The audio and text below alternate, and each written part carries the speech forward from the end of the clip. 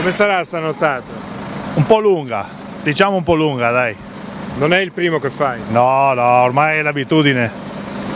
Diciamo che ormai sono 23 anni che sono qua dalla Fagioli e diciamo che andiamo avanti dai. Le operazioni ce le puoi dire un po' così succintamente? Ma le operazioni, non ci sono operazioni da fare, è solo stare attenti agli svincoli e cosa, devono bloccare le strade e basta. Tutto qua. Non è che dopo devi guidare, stare attento a quello che fai e basta. Dove arriverà il carico? Arriva a Ostiglia giovedì mattina. Lungo viaggio? Tre notti. La velocità massima che toccherai stasera? Stanotte? Eh, 5-10 km all'ora. Buon lavoro allora. Grazie mille.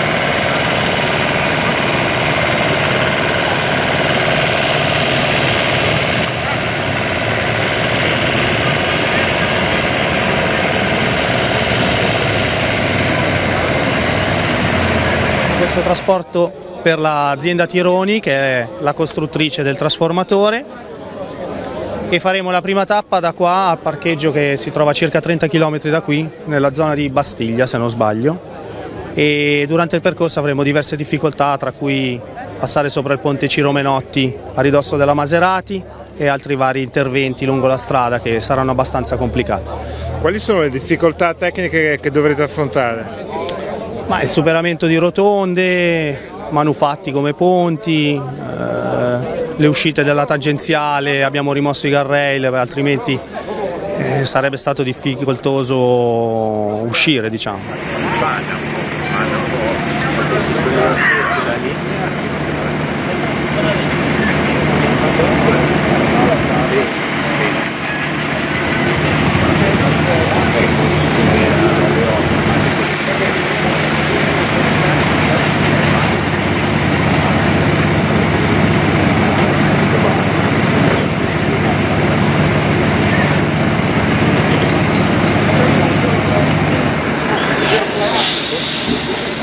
Bello quando passa qua.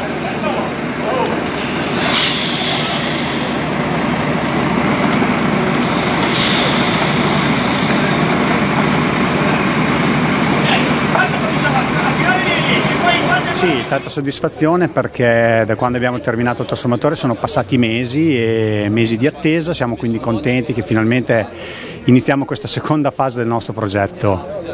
Ecco un dettaglio di questo trasformatore, come mai, quanto pesa, cosa fa e dove va? Allora l'unità quando sarà completamente montata è un'unità da più di 300 tonnellate, adesso in assetto di, di trasporto sono 250 più o meno ed è un trasformatore che verrà installato in Norvegia in una centrale della Utilities per la trasmissione dell'energia locale. Non siete nuovi a diciamo, avventure del genere? No, diciamo che come trasporti eccezionali siamo, insomma, siamo abbastanza abituati a dover fare di queste cose. Questo è veramente eccezionale anche per noi, credo che sia uno dei trasporti più grandi mai realizzati in Italia. Eh, È stato molto complicato, ma speriamo che abbia aperto poi una strada per eh, altri lavori di questo tipo in futuro.